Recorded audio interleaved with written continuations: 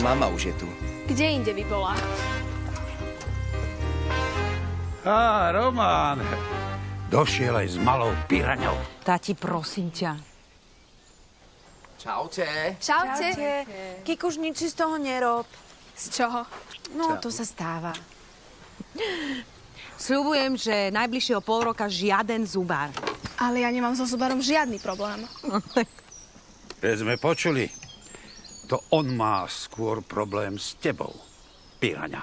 Tati, som ťa prosila. Ty si im to všetkým stihol povedať. No čo, no bože! Tak si tomu chudákovi zubárovi skoro odkusla prst, no čo? Láska moja, to má za to, že sa ti chcel špárať v tých tvojich zúbkoch. Poď sem. Pozor, aby ťa nekusla. Ale ja som to neurobila na schvál. Bola som len nervózna, lebo sme meškali. Meškali? Zdržali sme sa v škole. Čo, Kika, čo sa deje?